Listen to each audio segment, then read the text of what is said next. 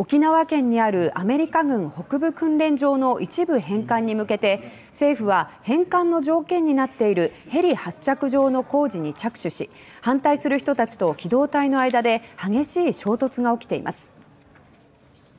午前9時です、えー、午前9時です。大きく今動き出しました。ゲート前のテントそして車両に機動隊員が集まり抗議する人々を排除しています。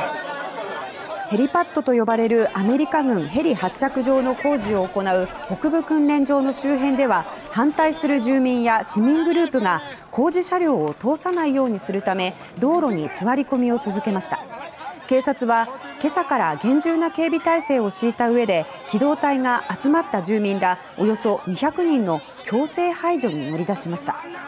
反対する人たちは住民生活への悪影響や事故の懸念もあるとして中止を求めており現場では激しい衝突が起きています。